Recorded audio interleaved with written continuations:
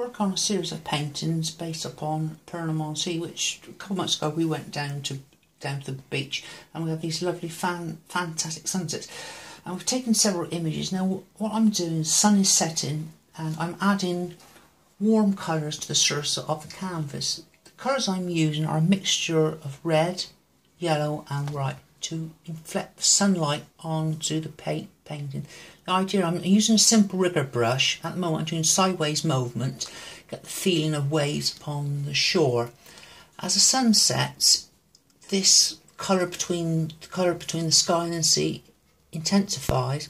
So further away I use smaller and smaller brush strokes. So to give that luminosity to the water and give and also give a feeling of movement of the waves. It's a gentle, quiet winter's evening, and in the foreground, I've done lots of lights, and these are people upon the promenade walking, and enjoying the evening. Enjoying the evening, so I'm try, trying to paint a tranquil, peaceful evening. So it's a simple, simple use of colour.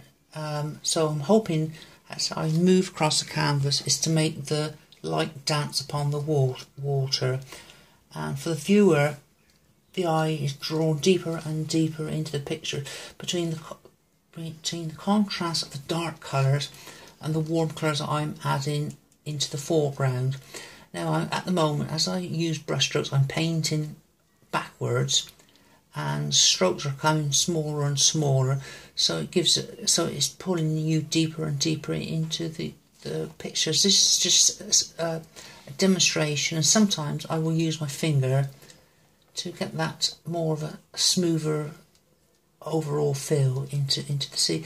And the same same same is done in the sky as previous before. Again is a mixture of cold colours and warm colours.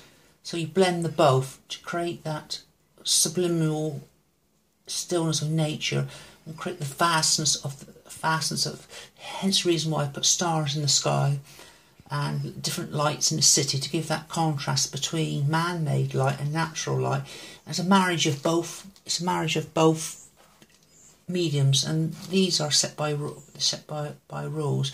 So it's um again it's a, it's a it's a, a winter scene, but I'm trying to create that warm summer feel to a cold, still but a beautiful evening light, and it's, it's to encourage the wonder of nature and the diversity. Many great artists like Turner, Constable, and Woodchurch would paint in this genre to create the wonder and greatness of nature and and to at the awe of this. And again I'm just trying to keep it simple as possible.